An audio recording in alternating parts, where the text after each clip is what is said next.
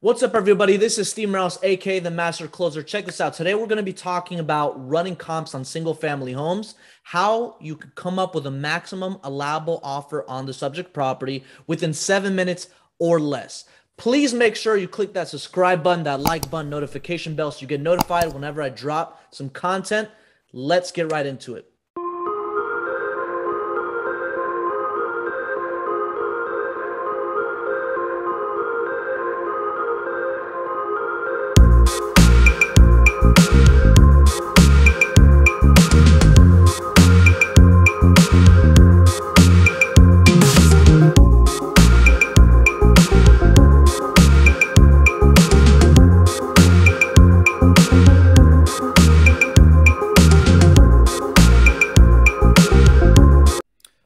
So here we are on PropStream. Uh, now, before I get started, if you do watch my show every Friday at 12 p.m. EST, the Deal Desk, where I call your leads throughout the country, doesn't matter where they are, this is the exact same process that I do um, while I'm on the phone. Now, obviously, I can't run comps while I'm on the phone and show you what it looks like because these are other people's leads. Uh, to keep them private and confidential. But basically, I'm going to show you the exact same thing I do in my business on Deal Desk anywhere in the nation. I'm being um, I've been using PropStream for a long time. You can check out a seven day free trial if you go to dealdeskdata.com. I'll drop the link in the description. So let's get started. Okay, so I'm just gonna zoom in here. Let's choose a uh, a random property in Tampa. Okay, let's just go over here, and uh, I don't know. Let's just pick this property right here on uh, Clifton. Yeah, we'll just pick this one. All right. So let's pretend Mr. John is calling me in regards to his property on 1302 East Clifton Street in Tampa. Okay. Now, it's really important to know that when you're speaking with a homeowner, not only do you have to know why they want to sell, when they want to sell, but you have to also have to know basic information about the property.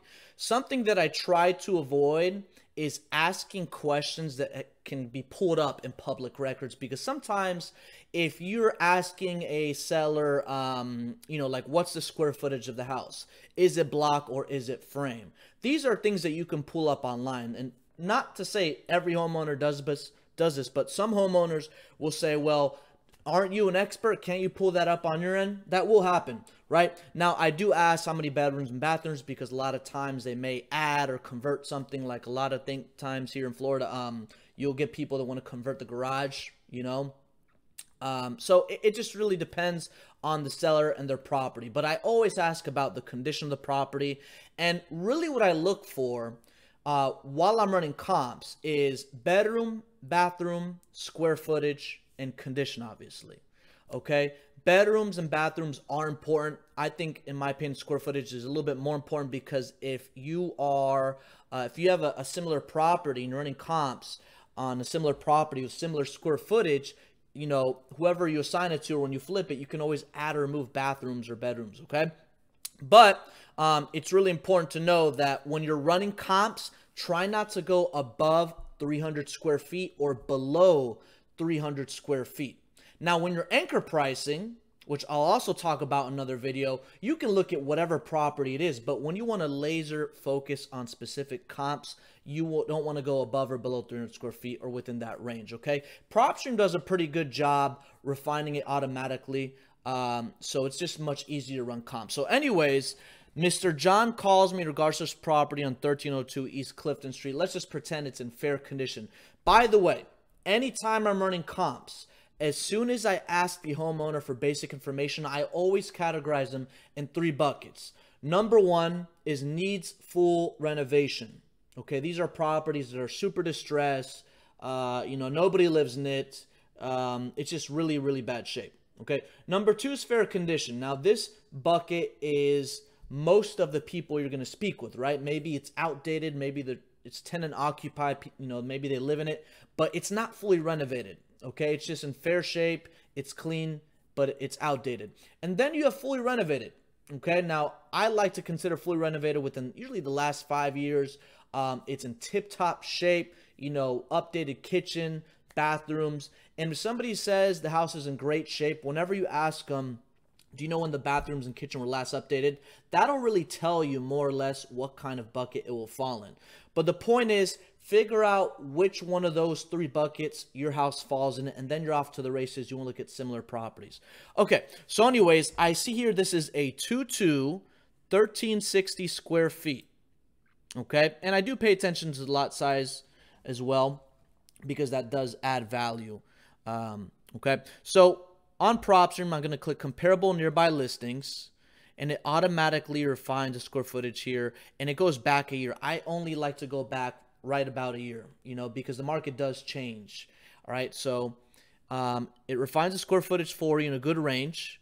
And the first thing I do is I look at the price points. You know, a lot of markets, um, you know, it could jump all over the place. And Tampa is a very diverse market. So you can have a million dollar house next to a mobile home park. You know, that does happen. So you look at these price points 255, 336, 323, 358. Um, you know, the highest one sold here is 358. But I, I see these are pretty common, okay? So I see these price points. The next thing I want to do is I want to look at the cash comps, right? So what I'm going to do is go to public record sale situation. I'm going to click cash buyer. Okay. See how it refines this for us. One, two, three, four. Okay. Blue means foreclosure, but we're looking at, you know, uh, cash transactions. And look, 295, 230, 260, 205. Now, cash comp isn't always going to be um, an LLC or a business, right? It, sometimes individuals do pay cash, all right? But the goal when you're running comps is you want to see what are cash buyers, uh, businesses, LLCs buying similar properties for and you simply just want to stay underneath that as much as you want to make. I know a lot of people use a 70% rule. Uh, you know, I haven't used that in a long time. I find it's a little bit more effective just to look at the current market standards and see what are cash buyers buying for. Okay, so um, typically the higher cash comps are individuals. You know, in the market right now, as of 2021, the market's crazy right now, so people are paying uh, a premium. But I like to start off with the lowest one so I can filter this by the amount and I'll start off from low to high. And usually the lowest ones is a good anchor price. Okay, remember anchor price is not your offer. It's just a way to see how motivated the seller is. Okay, so we see 180 here, number six, which is right across. All right, so I'm gonna click number six. I'm gonna click details. It's it's gonna open up a new tab. Now, when this new tab opens up, keep in mind PropStream already um, you know, factors in the square footage. It goes back a year. So what I do also pay attention to is the year built. This one's 1928. This one's 1964. Okay, for when you're running comps, you don't want to compare like a 2021 to a 1950 house. It's going to be different. Okay. All right. So actually, look, Balawi LLC bought this property, and we're going to see they bought it for 180. You can click the transaction history. Uh, actually, a lot of LCs bought this. 39. I mean, this was 2010. Okay. Some of these may be wholesalers, all right, that actually close on the property. But the most recent one is Balawi LC that bought this 180 cash, right, in April, not too long ago. All right. So based off of this, remember, this is the lowest cash comp I see. So in my mind, I always start off with an anchor price. But so far, I see LC bought this for 180. So my max offer so far is only 170. Now, it's important to also look at more comps. You don't just want to look at one cash comp and say, hey, that's your max offer, because again, you could be leaving money on the table. Okay. Another thing is this value right here is kind of like a Zestimate. It's usually within 20%. It's not always spot on, super accurate, but it's usually um, within the range. Okay. So 353, these people bought it for 180. They got a pretty good deal. Okay. Let's look at another one. We see number five Let's zoom out a little bit. Now, number five is right here. You want to be very careful when you're crossing major highways or bodies of water. I usually don't like to do that. I'm very, um, you know, picky about the area. You can look at it, but keep in mind, like, this may be a completely different neighborhood. Uh, really depends on what market you're in as well. All right, but let me let me keep looking these. I see two, three, and six. So number two sold for 230. Number six sold for 180, that's one we just looked at. And number three, so for 260. So let's take a look at this one here, number two. Now this does have photos. Oh, it says photo coming soon. I guess it's not on there yet. All right. So, anyways, let's look at it. Number two. They bought this for 230. I'm gonna, again. I'm gonna click details. Let me close out this tab. I don't like too many tabs open. So we're gonna open up this tab and we're gonna do the same thing. Okay. Look, another LLC bought this property, uh, and they bought this for 230. Okay. Now keep in mind um, look at this. Look at the square footage. It's, it's, the same, same bedroom, same bathroom. The year built is also similar. Okay, ours is 1928. I mean, this one's a little bit newer, but it's not drastically different, right? Now, I'm not sure why it's uh, not showing the photos. Okay, but this is why it's so important. Um, you know, based off of the photos, you want to see what kind of condition it's in, and if this one is in similar condition to what the homeowner of the subject property described to us, they bought this at 230. So that means my max offer is now 220 if I want to make $10,000. We try to make a minimum of at least $10,000 in every deal. But you notice how this cash comp here sold for 180, right? So this could be an anchor price just to see how they, you know, react. Because remember, if you know me, I don't like giving offers. I give offer ranges. So when homeowners don't like giving me the number, I want to give them the lowest uh, sold property in the neighborhood and then they'll either like it or don't like it. But I know for a fact now my max offer actually went higher, right? So it went from 170, now it's to 220 if I want it sell for 230. Okay, does that make sense? Hopefully it's making sense. Um, you know, I'm trying to go very slow step by step. So right now, my max offer is 220. This is similar property, bedroom, bathroom, square footage you're built. We can't see the photos, but again, I just put it in three buckets. I'm a very simple person who comes to these kinds of processes and making offers over the phone. Just put it in one three buckets. As long as it aligns with, again, what the seller tells you over the phone, there you go. So let's look at a little bit more, right? So we saw this one sold for 230. What about this one, number three, right here, the sold for 260? Let's click on the details for this one. This one may have photos. Let's take a look. Let's X this out. Number three is right there. Okay. Um, so number three, we're going to, again, click the transaction history. Now, this one, you can see photos of it. Okay. Now, this is what I would actually put in fair condition because this isn't fully renovated. It's very clean, but it's, you know, it has carpet. Um, you know, obviously, you know, th this is stuff that's not uh, up to date, right? It does have stainless steel appliances. But look at the bathrooms, right? um, it's not updated. And they bought this for 260 so again if ours is in similar condition to this now my max offer is 250 okay? See i'm doing this step by step. You're gonna get the grasp of it uh, fairly quickly if you take you know a lot of practice.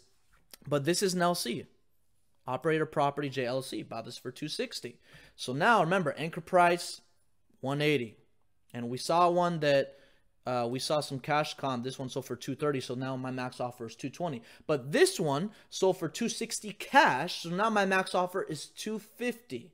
Okay, so hopefully you understand how I do this. Um, this is just a really great example. Uh, let me show you one last tip. Okay, one last tip. So check this out. You see this flip comps right here?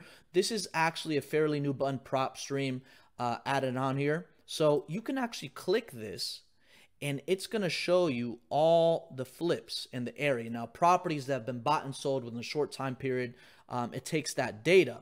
So you're able to uh, tell pretty quickly what they bought it for, what they sold it for, even a gross profit, right? Now, keep in mind, there's a lot in the area. You do want to start off with the closest ones, right?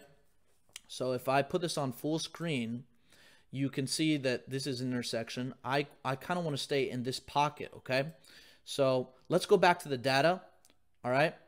Now you can see here um, the purchase price they bought it at, how much they sold it for, and what the gross profit was. Now some people did lose money. That does happen, but you're able to tell pretty quickly what your max offer is. You remember that one we saw that the investor bought for 260? Look, somebody bought this for 266 they flipped it for 298 and they made about $31,500 gross. Okay. So it looks like investors are paying um, pretty, you know, pretty uh, high in this area. Make sure that you do your homework. Remember, not all these are going to be investors, um, but you do want to take note of these. So this one, number one, on 49 East Paris Street. If I click on this one, I click on details. Let's see about this.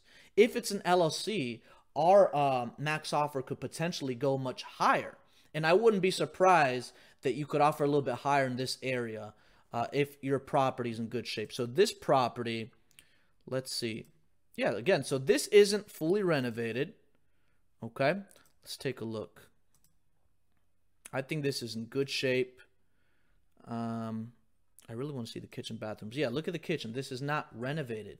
Now, was this an investor? Look at this. Nest Central Coast LLC. They bought this for 295. Let's take a look. Yeah, 303.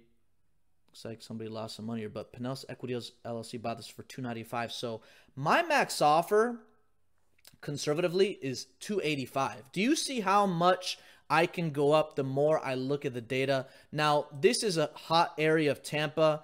Um, you know, some markets may vary, but this is a great example of how you're able to quickly determine what your max offer is. So in the previous steps that I showed you, yes, it's good to look at the data, but make sure that you really use this button flip comps because that can really tell you a story of what your max offer is. Okay. That this button right here, I use a lot. All right. While I'm on the phone, I, I analyze and it, uh, you know homeowners will tell you the grass is so green. I put this really great. Uh, I had this guy told me he put like some kind of rare Italian marble in the bathrooms. That doesn't really determine what my max offer is, right? Because again, I'm just assigning the property. All right. So make sure that you look at what are the cash buyers buying for. Really use this flip comps button because that's going to allow you to quickly analyze what your max offer is.